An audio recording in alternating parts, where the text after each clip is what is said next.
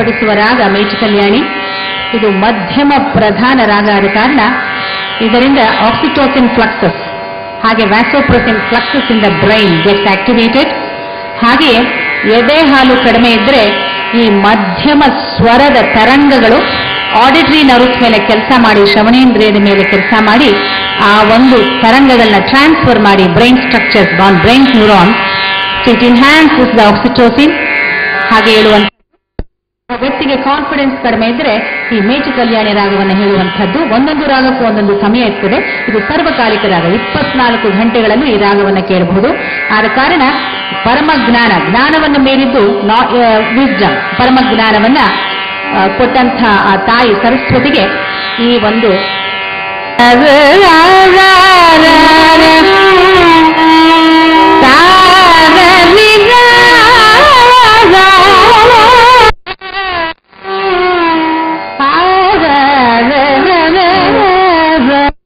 la la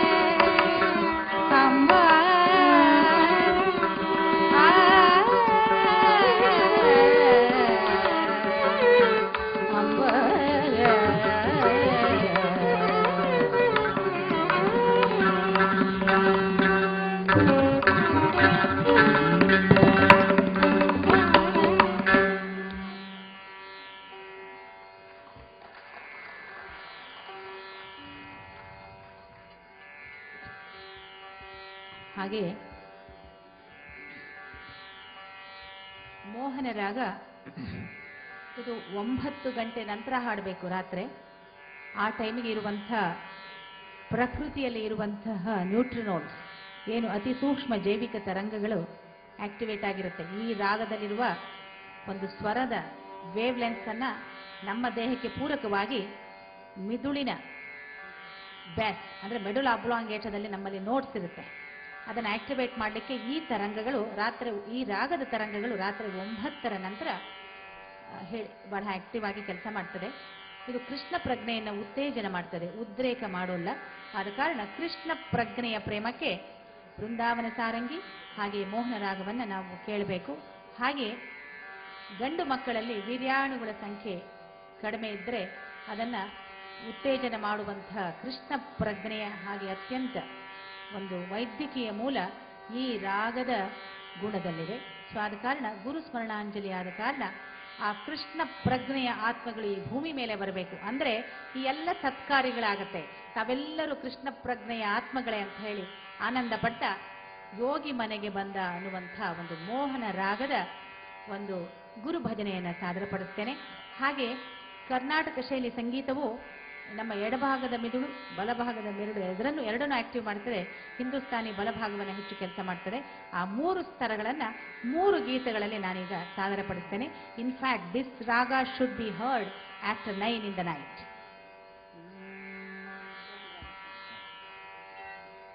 ಗರಿ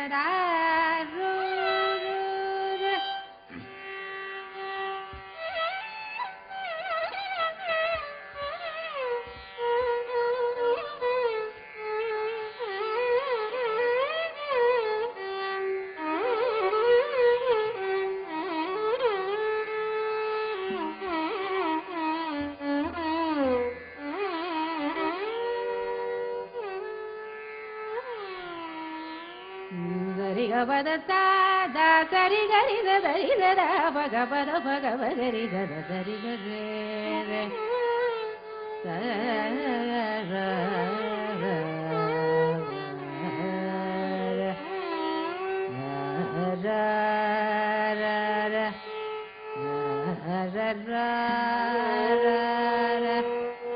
ra ra ra ra ra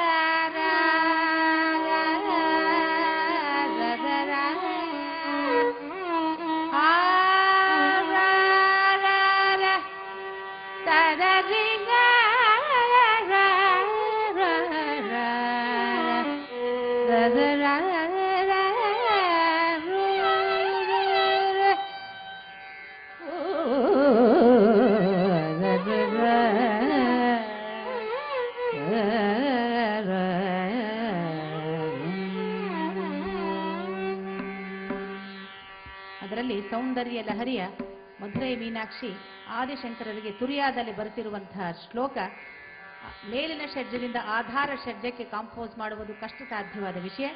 ಅದನ್ನು ನಾನು ಮೋಸ್ಟ್ಲಿ ಮೊದಲ ಬಾರಿ ಇನ್ನ ಸೌಂದರ್ಯ ಲಹರಿ ಹಂಡ್ರೆಡ್ ಶ್ಲೋಕ ಹಂಡ್ರೆಡ್ ಇನ್ ಸಾಮವೇದದ ಮೂಲದಲ್ಲಿ ಕಾಂಪೋಸ್ ಮಾಡಿದ್ದೇನೆ. ಏಳನೇ ಶ್ಲೋಕ, ಇದರಿಂದ ಈ ನೋಟ್ಸ್ ಶತ್ರುಭಾವ ಧ್ವಂಸ ಮಾಡುತ್ತದೆ ಅದನ್ನು ಸಾದರಪಡಿಸಿ ಯೋಗಿ ಮನೆಗೆ ಬಂದ ಹಾಡನ್ನು ಸಾದರಪಡಿಸ್ತೇನೆ. ಯೂಶಲಿ ಆಧಾರ ಷಡ್ಜದಿಂದ ಮೇಲಿನ ಷಡ್ಜಕ್ಕೆ ಹೋಗ್ತಾರೆ. ಸ ಷಡ್ಜ ಅಂದ್ರೆ ಸ, ನವಿಲಿನಿಂದ ಬಂದಂತಹ ಒಂದು ಸ್ವರ. ಇಲ್ಲಿ ಮೇಲಿನ ಷಡ್ಜದಿಂದ ಆಧಾರ ಷಡ್ಜಕ್ಕೆ ಹೋಗುವಂತಹ ತತ್ಪ್ರಯತ್ನ. ವಣತ್ಕಾಂಚಿಧಾಮ ಕರಿಕಲಭ ಕುಂಭಸ್ತನನದ ಪರೀಕ್ಷೀಣಾ ಮಧ್ಯೆ ಪರಿಗತ ಶರಶ್ಚಂದ್ರವದನ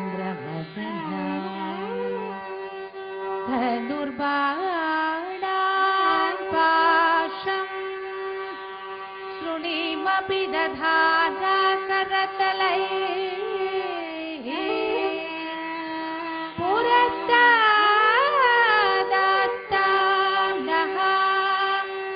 पुरमथितुः आहो पुरुषिका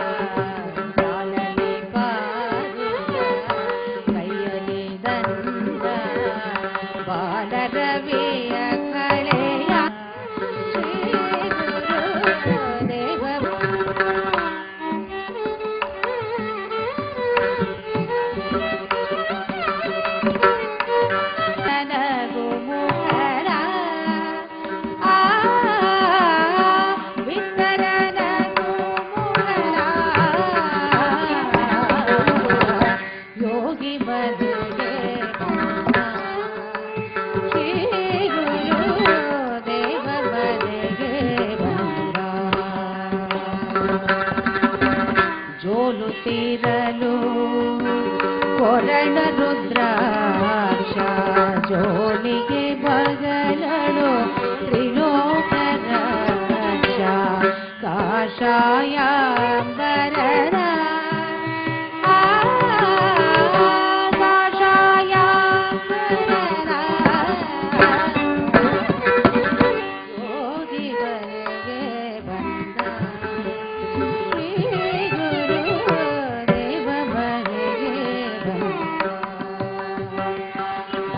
कामकल्पद्रुमदेरा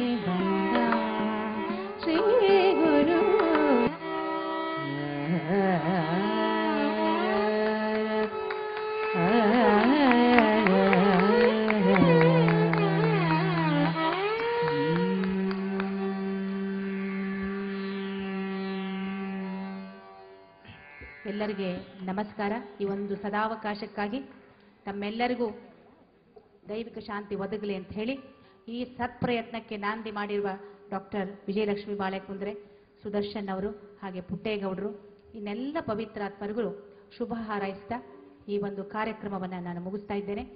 ನಮಸ್ಕಾರ. ಅರ್ಪಣೆಯನ್ನು ಮಾಡುತ್ತಾರೆ. ಹಾಗೂ ಅವರ ಅಕಂಪನಿಂಗ್ ಆರ್ಟಿಸ್ಟ್ ಆದಂತಹ ಶ್ರೀಯುತ ಮಹಾದೇವನ್, ವಿದ್ವಾನ್ ರವಿಶಂಕರ್ ಶರ್ಮಾ, ಪಲ್ಲವಿ ಅವರು ಮತ್ತು ಎಲ್ಲರಿಗೂ ಕೂಡ ಸನ್ಮಾನ.